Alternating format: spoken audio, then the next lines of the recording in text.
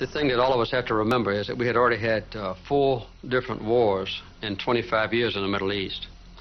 Every time the American worldwide nuclear forces had been placed on alert was a result of the combat in the Middle East. The Middle East is uh, an area of, uh, of, tremendous concentration of long-standing historic hatred, uh, distrust, based on race, uh, religion, and uh, a fight over precious land. And, and these complicated issues uh, had to be addressed in order to make sure we had peace not only in that region, but also that our country in the future wouldn't be faced with the prospect of a war in which we were directly involved. Peace in the Middle East had eluded statesmen for nearly 30 years by the time Jimmy Carter took office. Tension in the region had again reached a crisis point by 1978. In July, President Carter decided on a bold stroke. He invited two historic enemies to sit down together at Camp David to negotiate peace. It would take all his skill at personal diplomacy to get an agreement between Anwar Sadat of Egypt and Menachem Begin of Israel. Sadat uh, kind of looked upon himself as a modern day Pharaoh, the leader of a nation, in fact, the leader of the entire Muslim world. Uh, he was uh, bold, courageous, uh, general uh, in his approach, not given to uh, concern about specific issues or details or semantics or the use of words. Uh, he saw things in strategic terms, and he wanted an overall settlement. he didn't want to leave to subordinates the, the responsibility of trying to, to conclude the more difficult and contentious issues. He was willing to address them himself he came to Camp David looking for a comprehensive settlement.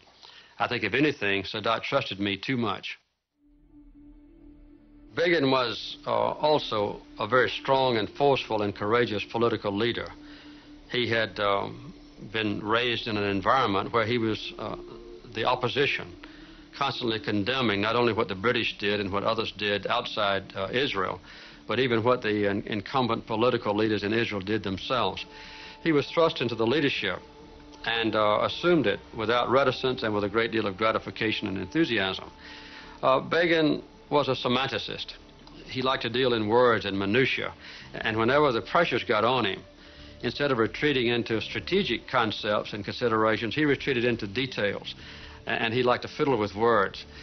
Uh, Begin came to Camp David uh, with the idea of just dealing in generalities and not uh, with those very contentious and difficult specifics. He wanted to have a, a, general statement of what we might do in the future and then turn it over to his Secretary of State or Foreign Minister and his Defense Minister to conclude the agreements in the future. This obviously wouldn't work. And uh, I think instead of uh, trusting me too much, as was the case with uh, Sadat, uh, Begin probably didn't trust me quite enough.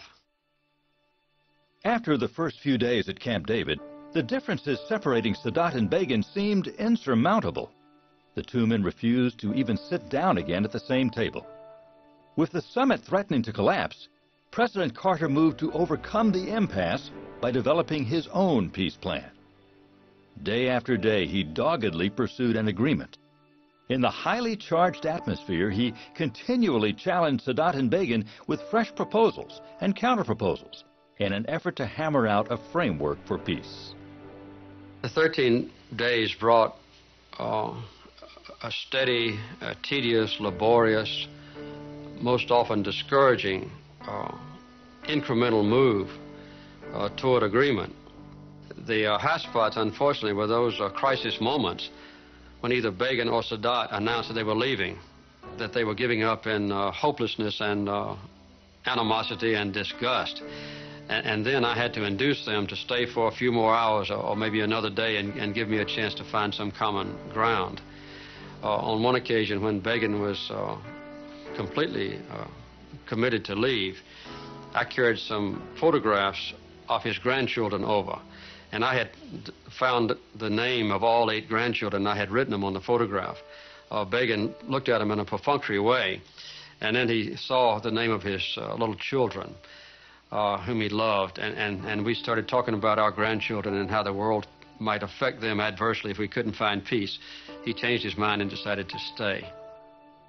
On another occasion, I was informed that Sadat had packed his bags, directed the Egyptian delegation to leave, and called for a helicopter to go back to Egypt. Uh, I was distressed with this, and I went and uh, visited Sadat in his uh, cottage, closed the door, and we had one of the most uh, intense uh, human encounters that I have ever experienced.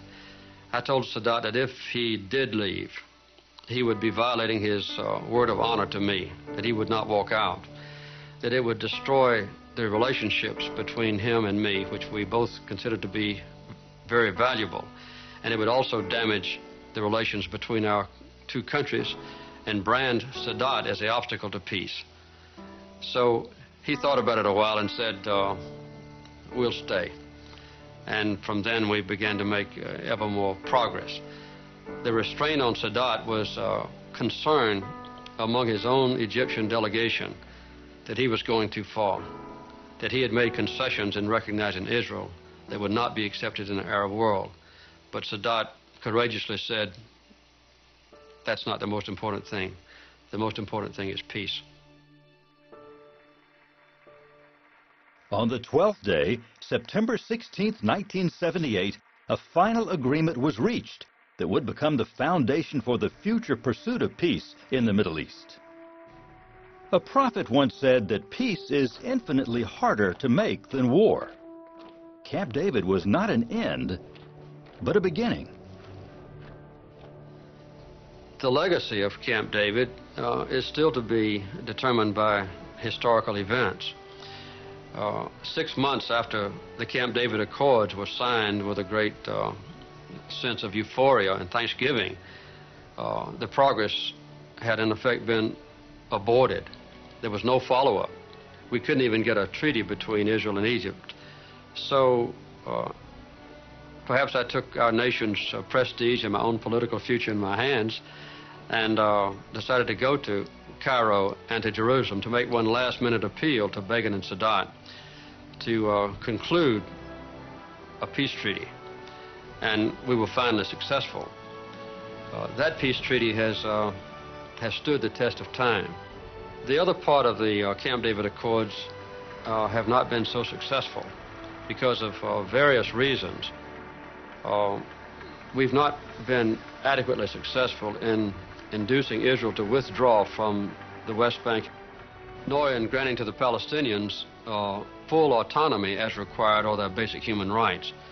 But no matter what happens in the future, in the uh, efforts to bring about peace, the, the basic premises of the Camp David Accords will have to be the foundation for progress to be expected in years to come.